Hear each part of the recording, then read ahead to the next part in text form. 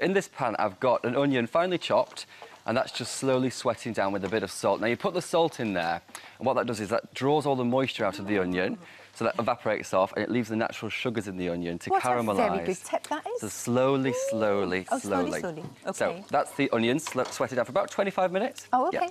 And Do you know what? I actually do make chili.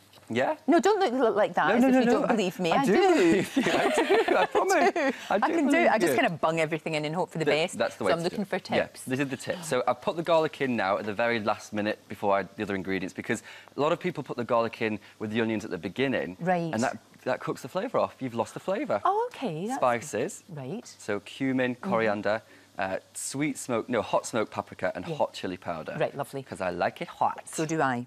Good. So do I. It's going to be hot. Good, good, good. So just rub those spices through the onions, and then I'm going to add some chopped chili, fresh chopped chili, just one or two if you like it really hot. Mm-hmm. But the good thing about this is that you can really vary the, the level of heat. Of course you can. Can't you? Because a lot of people don't like it. No, and if hot. the little ones sometimes don't like it so much. Yeah, exactly. And this actually is great for kids because of the nachos. It's quite exciting for They them. like so that, yeah. perhaps don't put too much chili in. Sure. Unless you don't like your children.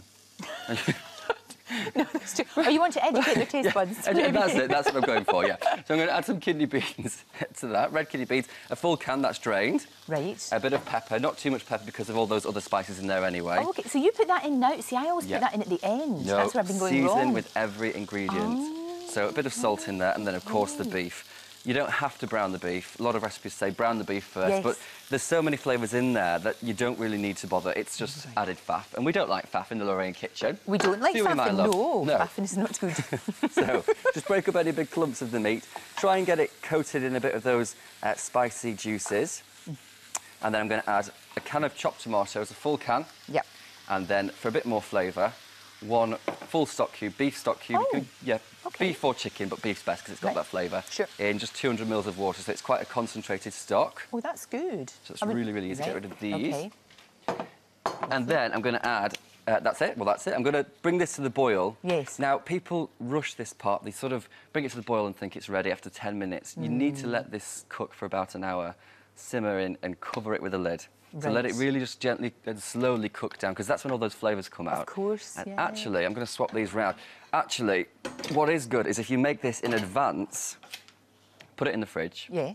The flavour's even better the next day. Really? What I used to do as a student in Yeah. perpetual studenthood is make a full batch of it, a big massive pan, Yeah. freeze it in individual bags, bang them in the freezer, and then you've got it ready. So get it out the night That's really before on a plate in the fridge, get home, bang it in a pan or the microwave, you've got chili, it's perfect. You would have been the ideal flatmate. Because Well- did you cook? I mean, you would make things and you'd bake things and you'd do all of that. I don't like to brag, but you know, my You- flatmate Holly, she was very, very privileged. I bet she was. I bet Although she was a great cleaner, so we, you know, hand in hand, hand in hand. None of them pot noodles for you. Oh, all the proper stuff. never. All Proper the proper stuff. stuff. and all that kind of gear. So that's how it reduces down. You can see it's gorgeous and steamy. It's thickened slightly, which is exactly what you want. Right.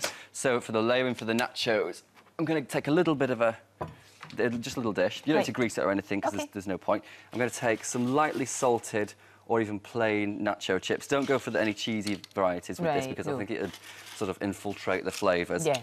So I'm going to put a layer of nachos in Okay. there. And I'm going to take this chili sauce That looks so good. it really is. It's. I mean, you can have it with spaghetti, you can have it on rice, but I just, I love This it is on. good, Yeah, or yeah. Mm. jacket potatoes. But you know what? For me, it's got to be chili and nachos. And actually, if you make this at the weekend as well, it's a great thing for your mates if they come round. Yeah, yeah, yeah. Um, you know, share a few drinks and have this. It's a real great weekend dish. It but is watching footy or something, Watching watching, the footy on the footy. telly, which I was doing last night. But it's equally as good. I'm not going to go into that. 'cause- No, it was fine. Was we it drew. right? No, Were it was fine. It was actually okay. I mean, we should have won, but it's okay. It's all right. okay. It's not all over yet. So you're not Fine. angry? No, no, no, no, no, no, no, no, no. They did really well. But it's equally great. Scotland in and. Poland we're talking about. so then we put cheese on Cheese on top. Lovely, lovely. Some more. I'm layering it up like a. Oh, it's like lasagna. lasagna, yeah. Yeah. Layer it with some more nachos, and then I'm going to put quite a few because the nachos go a bit like the lasagna sheets. They go quite soft and soggy. Okay. But the outside ones, because I'm going to bake this in the oven. Oh, right. I can't actually put it in the oven because I broke it this morning. I ripped the handle off, so sorry you about that. You ruined my kitchen. I'm sorry. I'll buy you a new one. Hope you've got insurance. Honestly. So pop some more chili on. But the outside bits, when you do bake it, the outside bits of the crisp, they go really crispy, Yummy. really gorgeous. and the more so cheese you put on, let's face it, the better it gets. Absolutely. So layer that with some more chili. And Gorgeous. what I'm going to do to the end of it when, when, when it comes out of the oven, only 15 minutes in the oven. Yeah, yeah, yeah. But when it comes out, I'm going to scatter on some fresh coriander.